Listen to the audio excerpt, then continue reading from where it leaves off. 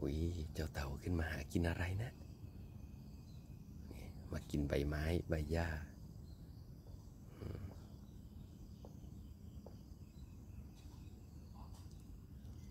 แอบถ่ายเจ้าเต่านะ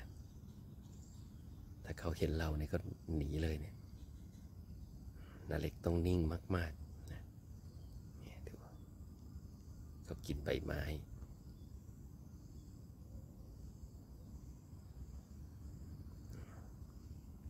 ดูว่า กินได้หรือเปล่า ใบนี้ไม่อร่อยไม่กิน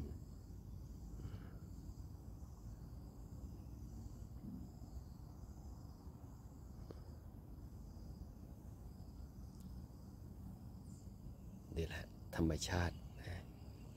มาสัมผัสธรรมชาติแบบใกล้ๆกันนะนี่หลังฝนตกเห็นไหมน้ำมันก็จะท่วมหญ้าที่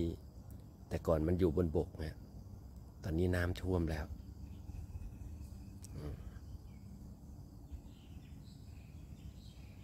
ปลาที่กินพืชก็จะขึ้นมาหากินแบบนี้แหละนะเสร็จแล้ว พวกปลาที่กินเนื้อ มันก็จะมาหากินปลาที่กินพืชตัวเล็ก ๆ เนี่ยนี่แหละธรรมชาติของห่วงโซ่อาหารละ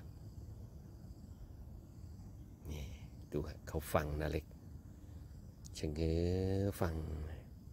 ไม่ยอมไปไหน เตรียมเพ่นพราะพวกนี้เขาระแวงฮะนะสัญชาตญาณของสัตว์ป่าในการเอาตัวรอด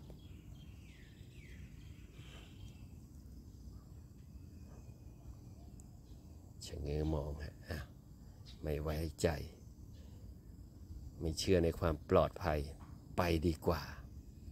ครับผมสำหรับคลิปนี้นะเล็กก็เก็บมาฝากกันเพียงเท่านี้ครับผม สวัสดีครับ